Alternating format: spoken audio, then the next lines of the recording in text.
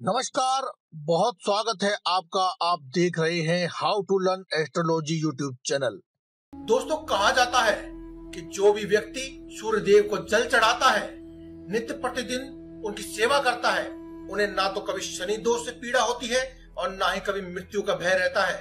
सूर्य देव को सभी देवों का राजा माना जाता है और यह सूर्य देव को चढ़ाने वाले जल की परंपरा वैदिक काल से ही चली आ रही है। ज्योतिष शास्त्र की माने पुराणों में भी ये वर्णित है कि सूर्य देव को नित्य प्रतिदिन जल चढ़ाने से रोग दोष आदि का अंत होता है और जातक की सभी दोस्तों, शास्त्रों में बताए गए उपायों का यदि आप पूरे विधि विधान से पालन करते हैं तो आपका स्वास्थ्य भी ठीक रहेगा। व साथ ही साथ आपके भाग्य उदय के होने के आसार भी बढ़ जाते हैं। भाग्य उदय के साथ साथ आपकी किस्मत के सभी सितारे चमकने लगते हैं। इसीलिए प्रत्येक वीडियो में हमारे द्वारा बताए गए पूरे उपायों को पूर्णता सुने, पूरी वीडियो देखे, ताकि आपको पूर्ण जानकारी हो सके। वैसे तो धन प्राप्ति के लिए माता लक्ष्मी को याद किया जाता है। माता लक्ष्मी की पूजा बड़े विधि विधान से और पूरे सच्चे मन से, श्रद्धा भाव से की जाती है। लेकिन माता लक्ष्मी के साथ साथ नारायण यानी श्री हरि विष्णु जी की भी पूजा करनी चाहिए, ताकि आपको हर प्रकार का सौभाग्य व सुख, समृद्धि व शांति प्राप्त हो सके। साथ ही धन कमाने की सभी मनोकामनाएँ आपकी पूर्ण हो सके। मनोवांछित इच्छाएँ पूरी हो जाती हैं। सूर्य देव को जल चढ़ाने वाले लोटे से जो जल ज़मीन पर गिरता है, वह वज्र के समान मज़बूत हो जाता है और मनुष्य के सामने एक वज्र बन करके उसकी सभी समस्याओं से उसे बचाता रहता है।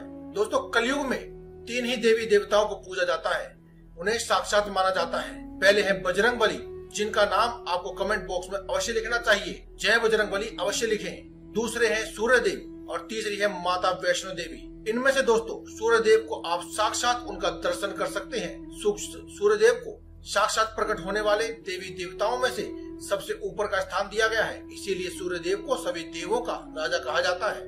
दोस्तों, अगर आपको भी मान सम्मान की प्राप्ति करनी है तो आपकी कुंडली में सूर्य देव को शुभ ग्रह में शामिल होना चाहिए। जिन मनुष्यों की कुंडली में सूर्य शुभ स्थिति में होता है, उन्हें बड़ी सफलताएँ हासिल हो जाती है। लेकिन अगर सूर्य अशुभ स्थिति में हो तो मनुष्य को कड़ी से कड़ी मेहनत करने के बाद, कठोर परिश्रम करने के बाद भी सफलताएँ नहीं मिल पाती है। नौकरी में आ रही परेशानी हो या बिज़नेस में सफलता प्राप्त करना हो, ये केवल एक लोटा जल अर्पित करने से ही सूर्य देव को नित्य प्रतिदिन एक लोटा जल अर्पित करें। इसी से आपकी सभी समस्याओं का अंत हो जाता है। ज्योतिष शास्त्र में साफ़ साफ़ लिखा है कि जो भी व्यक्ति सूर्य देव की पूजा करता है, उसे अपने घर में और समाज में मान सम्मान मिलता है। मनोवांछित इच्छाएँ जल्दी पूरी हो जाती है। और व्यक्ति चाहे कितना भी निर्धन हो, उसे अपनी दरिद्रता से मुक्ति मिल जाती है। दोस्तों, आज की इस वीडियो को बनाने के पीछे भी यही कारण है। आज की इस वीडियो में हम आपको ज्योतिष शास्त्र के अनुसार पुराने धर्म ग्रंथों और पुराणों में सूर्य देव को जल चढ़ाने का जो सही समय है, वो बताने जा रहे हैं। अगर आप सूर्य देव को सही समय पर जल देते हैं तो आपकी सभी समस्याओं का अंत हो जाएगा। सूर्य देव को जल चढ़ाने से यश मान सम्मान, सौभाग्य, धन, उत्तम मित्र उत्तम संतान, उत्तम पारिवारिक सुख, ये सभी सहजता से मिल जाता है। अगर सूर्य देव को जल चढ़ाने की बात की जाए तो सूर्य देव को जल चढ़ाने का पहला नियम कहता है कि आपको सुबह आठ बजे से पहले पहले ही सूर्य देव को अर्घ दे देना चाहिए। यह कार्य करने से पहले आपको अपने नित्य कर्मों से निवृत्त हो जाना चाहिए और शुद्धता का विशेष ध्यान रखना चाहिए। अच्छी तरह से नहा धो करके पवित्र हो, उसके बाद ही आप सूर्य देव को जल चढ़ाएँ। यह क्रिया सुबह आठ बजे से पहले ही पूर्व हो जानी चाहिए। सूर्य उदय होने के तुरंत बाद पूर्व दिशा की ओर मुख करके और सूर्य अस्त होने से तुरंत पहले पश्चिम दिशा की ओर मुख करके जल चढ़ाने से आपको यश की प्राप्ति होती है। सूर्य को अर्घ देने वाला लोटा यदि तांबे का है तो ही आपको हर प्रकार का फल मिलता है। पीतल, लोहे या स्टील के लोटे से, जल चढ़ाए हुए जल से आपको इन सभी में से कुछ भी प्राप्त नहीं होता है।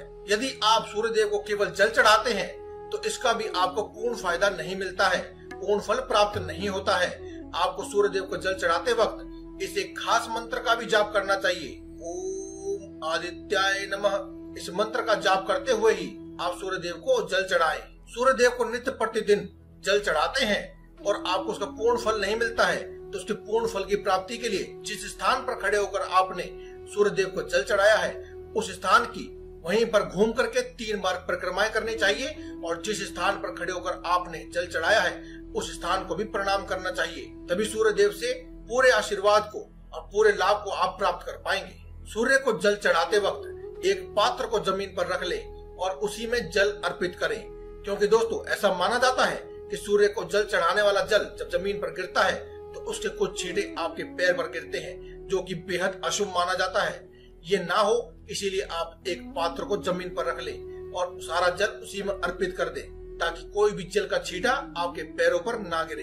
बाद में आप अपने घर में जो भी आप पौधा लगाए रखा है, आप उसमें उस जल को अर्पित कर सकते हैं, या फिर आप किसी भी मंदिर में जाकर के, किसी भी पीपल के पेड़ के नीचे, या फिर तुलसी माता के नीचे उस जल को अर्पित कर सकते हैं। यदि आप सूर्य देव को जल चढ़ाने के बाद उनसे फल की कामना जल्दी रखना चाहते हैं तो आप सूर्य देव को जल देने वाले लोटे में थोड़ा सा मिष्ठान, या फिर कुमकुम, या फिर एक लाल फूल, या फिर इन सभी चीज़ों को आप डाल सकते हैं ताकि आपको फल की प्राप्ति जल्दी हो। तो दोस्तों, आज की इस वीडियो में केवल इतना ही। कल फिर आपसे मुलाकात होगी एक और नई वीडियो के साथ। तब तक के लिए धन्यवाद। कमेंट बॉक्स में लिखना ना भूलें। जय बजरंग बली